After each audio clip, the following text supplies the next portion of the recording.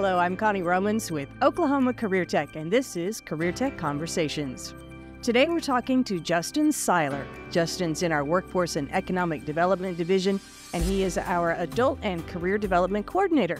Justin, thank you for being here. Pleasure. Thank you for having me. I feel like we should have some popcorn in the studio because we've been talking a lot about movies and, and the film industry. Is it too early for popcorn? Yes, probably.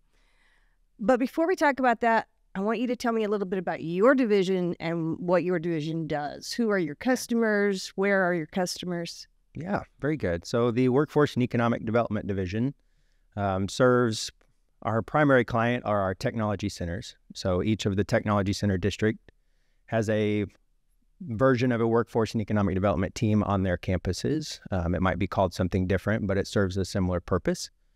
Um, and they work with business and industry in their local area to either retain, expand or recruit in new businesses um, to expand job opportunities, job growth, um, and thus economic development and growth. Um, and so that's what our team works to support are those efforts across the state. Those are through different um, economic development initiatives. We have some funding opportunities. Um, specifically, my role works with short-term open enrollment opportunities. Um, so many of these divisions will provide different short-term training opportunities for folks to either upskill reskill, earn, earn a new credential or a certification. Um, and so that's kind of the main areas that we focus on. Where do your initiatives stem from? Uh, I've heard a lot of, at the state level, especially uh, their workforce needs, and are we filling them, and how are we addressing that? Yeah, um, so just the same as many of our technology center um, initiatives, it's locally driven for the most part. Um, so if there's a local company in that area that needs assistance, whether that's through um, specialized or customized training opportunities, um, our schools can help with that. Op- develop those um, training courses or provide those. Or um, sometimes we do work on more of a statewide initiative if there's a um, an opportunity to align with the statewide workforce development program. for example, a couple years ago, we did a meat processing training that was in alignment with a state need or it could be a local need. So it just kind of depends on what where that comes from, but it is industry driven. So we have 29 technology center districts. How on earth do you manage to get them all to coordinate together? Um, that's a, a, a large portion of what our team does. And so I'm a part of a larger team of about nine different people.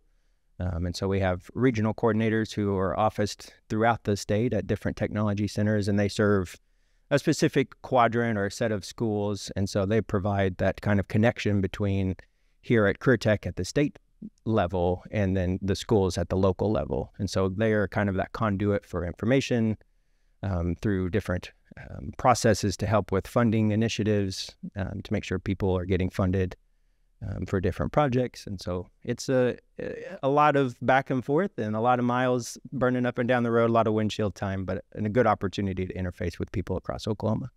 I think most people that are familiar with Oklahoma know that we have different parts of the state that have different personalities, so to speak. Do they also have different workforce needs? Yes. Um, you know, part of the reason why film loves Oklahoma is the diverse economic landscape, um, uh, natural landscape, that piece of it. Um, and just like that, in a, from a film set perspective, it's that way with every industry. Um, in the northwest part of the of Oklahoma, you're driven by agriculture and energy. Um, you get into the eastern side of the state, there's different opportunities, whether it's through logging or um, we have a few more tech companies based in northeast Oklahoma, like Google. Um, and so it, every part of our state has a, def- a different economic driver that that um, supports that that region. And you did mention film, and we do want to talk fairly extensively about the film industry because that's something really cool that's happening to Oklahoma right now. Uh, we've talked to Mark Birch in the BMIT division. We talked to John Day in the, the T and I division, and both of their their groups are involved. And I understand yours is as well. We have so many movies right now, so many TV shows. We've got Killers of the Flower Moon, Reagan, Reservation Dogs, Tulsa King. I mean, these are pretty big deals in the state of Oklahoma. Why? How are we getting these blockbuster shows to come here? Yeah. So film's been around Oklahoma for quite a while. I mean, Rain Man was filmed in parts of Guthrie in the late 80s, um, Twister in the early 90s, August Osage County in the early 2000s. And so we've had some big blockbuster films come through Oklahoma, but you're right, there's been an uptick in kind of that cadence in the last couple of years.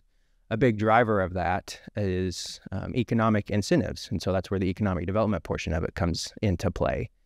Um, so the state legislator has passed over the last several years different levels of film incentives or rebate programs. And so that gives production companies, um, for lack of a better term, incentive to come film in Oklahoma um, because then they can get some some tax credits or different things if they film in our state. Um, they have different markers they have to go by on hiring X amount of Oklahomans to work on their set. They have to use certain amount of local vendors and that type of thing. Um, and so that has really kicked off the um, kind of the renaissance we've seen in film and TV in Oklahoma in the last several years. Um, and then once folks started filming here, they got to know the area and they see the beauty that we have to offer in our state. And if you're located in the metro, within two hours, you can be in four or five different ecosystems and different um, you know vistas to look at as far as from a camera perspective and so um, it adds a lot of diversity in a sh- in a small area um, and so um, the production companies have enjoyed that ability to be able to shoot lots of different types of film and TV series in one area. So initially, it might have been the if you pay them, they will come, but mm-hmm. once they're here, there's a lot to like about the state. Yeah, yeah, that's right. Um, the the film industry is naturally kind of transient just by its nature, um, and so the, it does kind of ebb and flow. Uh, they follow the money a little bit, um, just to be quite honest. But it is once they get here, that's part of the goal of Oklahoma is to is to show what we have to offer and create a an, an ecosystem, if you will, of film and TV production. That way, it's easy for them to stay and to do business here. So there are employers in the film industry that need workers, mm-hmm. and a large part of your job is to provide those workers through the training that needs to happen. But not everybody is going to be a movie star. so, what other kinds of opportunities are you preparing for? Yeah. So the film industry is very cool in the fact that it's very vast in the career opportunities that are available. Um, the folks that you see on screen in front of the camera, the talents like you and I are today, um, is a very small um, piece of what actually goes into producing a television show or a movie. And so each of these production sets is almost like a small city. And so any job that you can almost imagine, there's sanitation, transportation, there's accountants in the background and a full business office, um, keeping all of things operating from an income le- or from a cash flow perspective, safety training and all that piece of it. And then there's the whole crew base that makes sure that the production goes off without a hitch. That's the lighting, that's the grip and electric crews, set design and construction. Um, and so there's a lot of different opportunities on a film set behind the camera, if you will. That's where 95% of the work actually happens.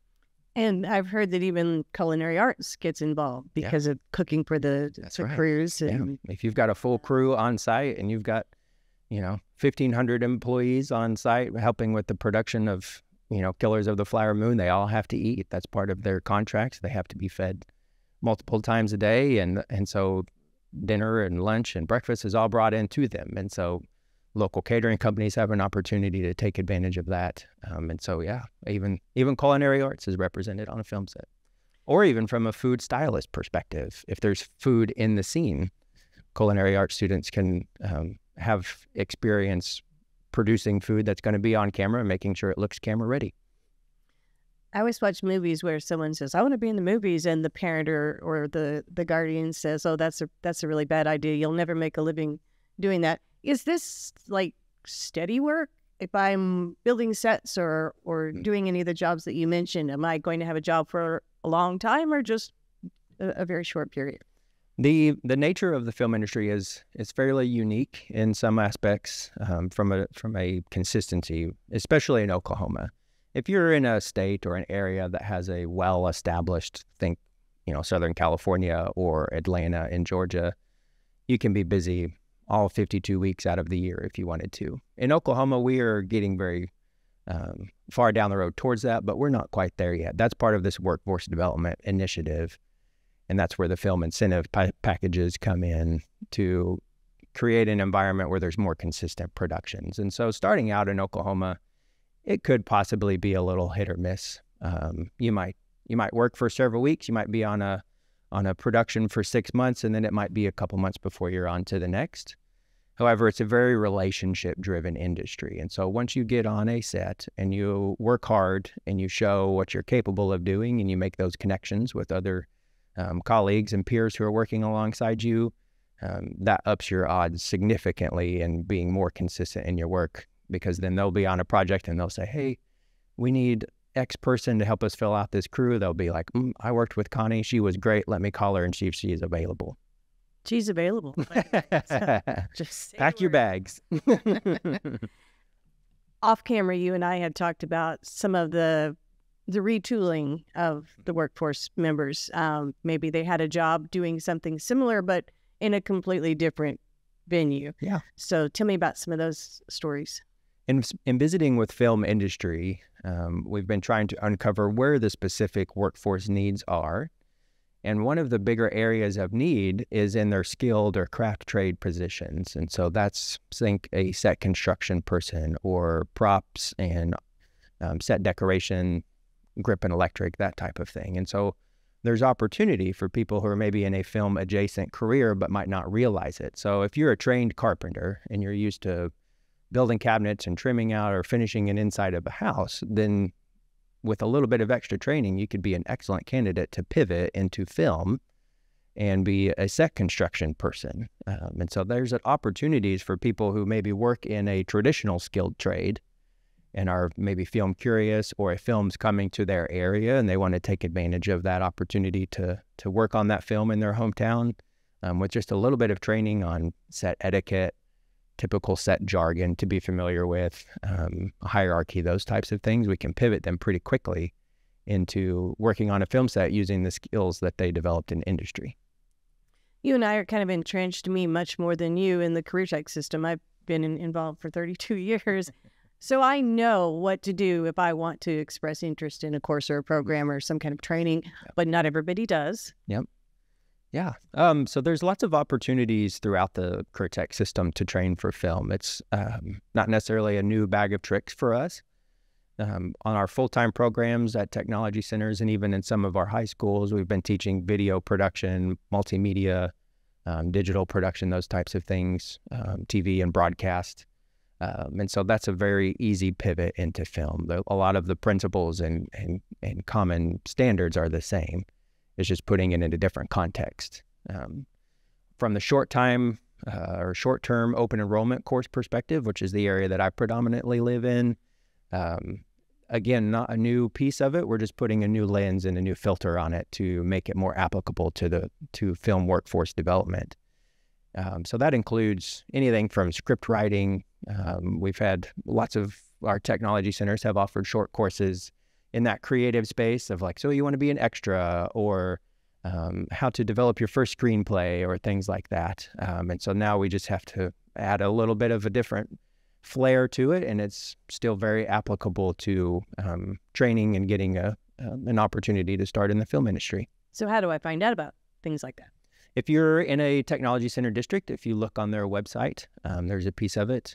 Um, we don't have a centralized career tech website just yet. That's on the to-do list for 2023, um, but we haven't. But we haven't got that developed just yet. But um, looking at your local technology center piece of it, or um, if there, if your local technology center is not hosting a course that meets maybe a personal interest that you have or something like that, um, our open enrollment courses are open to anybody from any part of the state or even outside of Oklahoma. And so you can um, search through those courses online, um, and then you can always contact me. Um, I don't know if there's a way we can put my email address in here, but people can contact me, and I'm happy to connect them to the right resources. Why don't you just share that email address? And if they struggle with that, they can always find you on uh, the the Career Tech website. That's right. Very good. My email address is justin.siler. That's S I L E R at careertech.ok.gov.